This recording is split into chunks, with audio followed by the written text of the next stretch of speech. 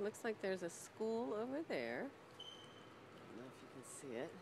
Neighborhood. There's one right across the street that's for sale that we'll look into.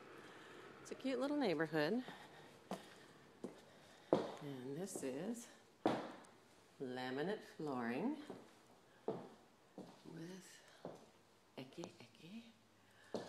Ah, the windows aren't bad. It's just it looks like there's just been too much moisture in this house.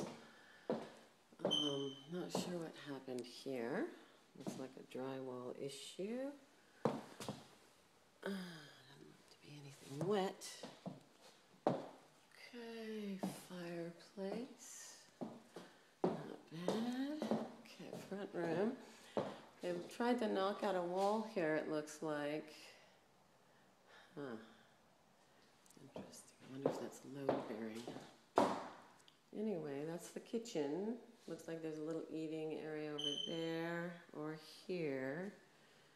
Anyway, that's looks like they've taken everything out. So this has been stripped. There's nothing back here past this.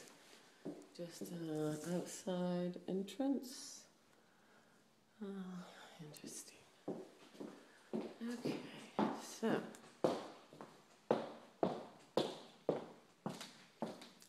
around here we have a what was a bathroom. It's been stripped. And this be a bedroom. wondering why these strips of drywall are out of these areas. It's kind of weird. Huh. Anyway, needs closet doors. Needs doors. Doors again, no doors.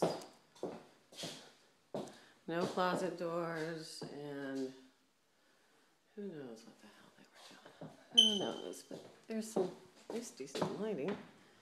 Okay, so that looks like that's it. Two bedrooms, one bath, cute little place. Hmm. There's no way out to the back. Maybe that's what we were gonna do is put something out here. Anyway, there's the view of the back area. It has some sort of a foundation. Huh.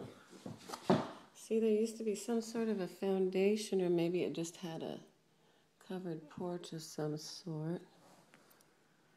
Different. Needs to do that again. That would be actually ideal. Right, so I want to go out back and see what's going on out there. Okay? Let's go on. Alright. Huh. Kind of like to see what's downstairs too. This place. Okay. So there's some sort of stairwell down here. Ugh, I don't want to go in there. Hang on.